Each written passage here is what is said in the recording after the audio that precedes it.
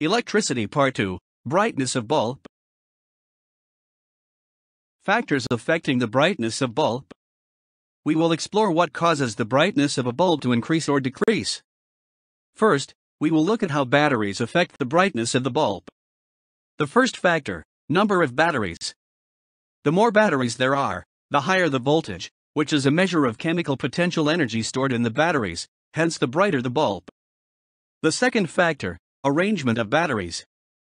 Batteries must be connected from their positive end to their negative end. The amount of voltage is equal to the addition of the supply of power by all batteries when connected correctly. Let's look at this diagram here. Bulb A is bright, and electrical power is provided by one battery. However, bulb B is brighter, as electrical power is provided by two batteries. Let's look at this diagram here. Bulb C is the brightest, as electrical power is provided by three batteries, which is more than bulb A and bulb B. However, bulb D is blown, or fused, since too much electrical power causes a lot of heat energy to be released at the filament of the bulb, and the filament melts. Second, we will look at how the number of bulbs and its arrangement can affect its brightness. The first factor, the number of bulbs. When the number of bulb increases, the brightness of each bulb decreases. The power from the batteries are shared between the bulbs. The second factor, the arrangement of bulbs. In series arrangement, the voltage applied across each bulb is divided equally. In parallel arrangement, the voltage applied across each branch of bulb is the same. Hence, bulb arranged in parallel are brighter than in series. Bulbs in series. Let's look at this diagram here. One bulb in circuit A is powered by two batteries in series. Two bulbs in circuit B are powered by two batteries in series. Each bulb in circuit A is powered by two batteries. Each bulb in circuit B is powered by one battery.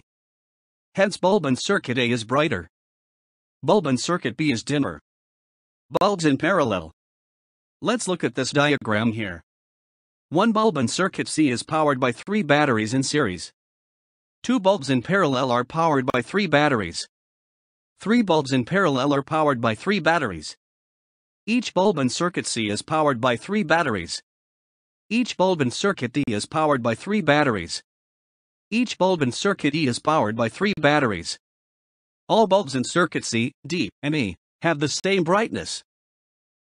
Putting them all together, the brightness of circuit C, or D, or E is brighter than bulbs in circuit B, followed by bulb in circuit A. Now, we will take a look at conductors, and insulators of electricity. Conductors and insulators of electricity. Good conductors of electricity are materials that allow electricity to pass through them. For example, all metals. Pure conductors of electricity are materials that don't allow electricity to pass through them. For example, most nonmetal, such as rubber and plastics. Question time. Question 1 do the bulbs light up in the following circuits? Let's look at option A. The voltage applied by batteries cancels out, as they are connected at both their positive ends. The bulb doesn't light up. Let's look at option B. The voltage applied by batteries in series is correct. However, the bulb in red is not connected correctly, as it is only connected at its metal casing. Bulb do not light up since circuit is open. Let's look at option C. Batteries are connected correctly at their positive and negative ends. Each bulb is connected correctly at its metal tip and casing. Bulbs light up. Let's look at option D. Batteries are connected correctly at their positive and negative ends. Each bulb is connected correctly at its metal tip and casing. Bulbs light up.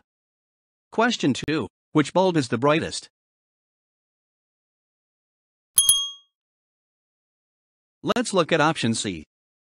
Three bulbs in series are powered by two batteries in series. Each bulb in circuit C is powered by two thirds of a battery. Let's look at option D. Two bulbs in series are powered by two batteries in series. Each bulb in circuit D is powered by one battery. Hence, bulbs in circuit D is the brightest, followed by bulbs in circuit C, and then bulbs in circuit A or B as the bulbs in both circuits don't light up. Question 3. Which bulb is the brightest? In circuit A, each bulb is powered by two batteries. In circuit B, each bulb is powered by one battery, as the bulbs are connected in parallel. In circuit C, two bulbs are connected by three batteries. Therefore, each bulb is powered by two third batteries. In circuit D, each bulb is powered by one battery. The brightness of bulbs in circuit A is brighter than bulbs in circuit B, or the brightness of bulbs in circuit D is brighter than bulbs in circuit C. The brightness of bulbs in circuit B is the same as those in circuit D,